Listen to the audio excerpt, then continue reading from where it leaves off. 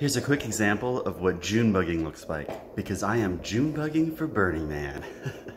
June bugging is a way of getting stuff done that I lifted from the ADHD community here on TikTok, so thank you all, I really appreciate you.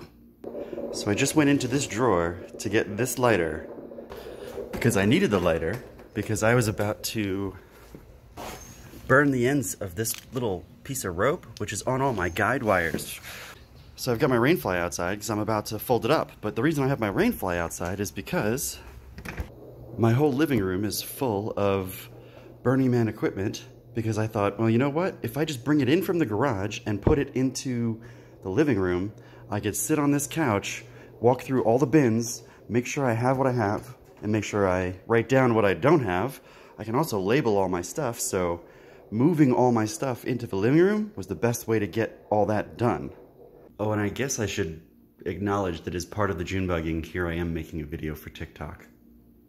And the thing that kicked all this off is that I put my boots on. So real quick, what is June bugging? June bugging is a way of getting stuff done that doesn't involve having a giant checkoff list. You put things out that you can't ignore, and then you just keep walking past these things while in the middle of doing other things, and you're constantly being interrupted by whatever has to get done, but because the things are all out in the open, you continue to come back to the main project. So in this case, the main project is I put all the bins for Burning Man in the living room, which means I'm going to go through them all. So one of the dangers of June bugging is having half-done projects lying around. And uh, I know that's something that my ADHD friends struggle with. There's just piles of things. And the, the answer there for me, uh, hopefully for you, but for me, is going back to I put my shoes on.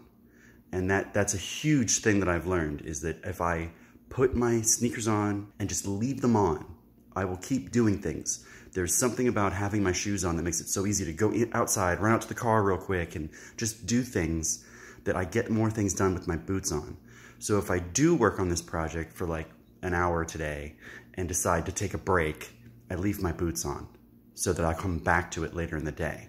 And if I leave, if the project's not done by the end of the day, then tomorrow my only goal is going to be to put my boots on and I'll find myself June bugging again. Mentally and emotionally, we don't focus on this giant task we need to do. We focus on the fact that we're just doing, we're, we're doing, we're getting stuff done.